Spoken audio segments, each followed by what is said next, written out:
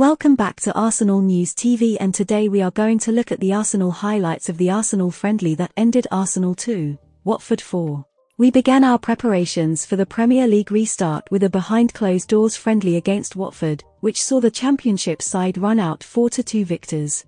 The game at London Colney was a first chance for those members of our first team not at the World Cup to get some minutes under their belts since beating Wolves three weeks ago and goals from Marquinhos and Eddie Nketiah saw us lead 2-1 at the break. However, after we made 10 changes at the break, the victors, who also began at full strength, managed to overturn the deficit to pick up a timely win ahead of the resumption of their league season next weekend. Highlights, Arsenal 2-4 Watford.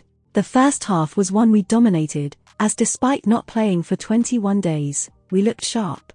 Mohamed Elneny and Kieran Tierney forced Daniel Bachmann into two early saves before Nketiah went close when an initial shot was blocked, but the striker steered the rebound fractions wide. On 25 minutes Martin Odegaard teed up Sambi Lokonga, who saw an effort from the edge of the area thump off the base of the post. But our pressure finally told three minutes later when following some nice build-up play, Cedric's cross was cleared as far as Marquinhos 20 yards out. Who whipped the ball into Bachmann's bottom corner.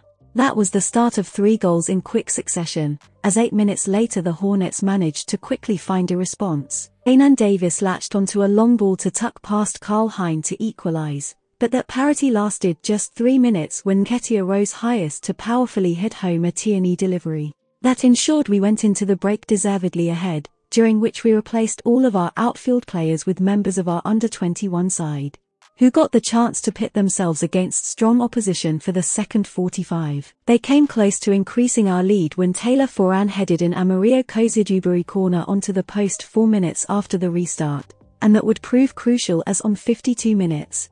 Watford drew level again when Joseph Hungbo swept in a free kick, which Davis steered past Hein with his head to grab his second of the game. Yasser Asprilla then saw a good chance go begging when his effort was deflected wide but just before the hour mark he did get on the score sheet. Joao Pedro picked up possession on the halfway line and dribbled 30 yards before laying the ball off to the Colombian international who drilled the ball into the top corner past recent introduction, Hubert Graczyk. The Polish youngster made a smart save to thwart Pedro after he once again ghosted into the box, before then denying Hungbo twice in quick succession.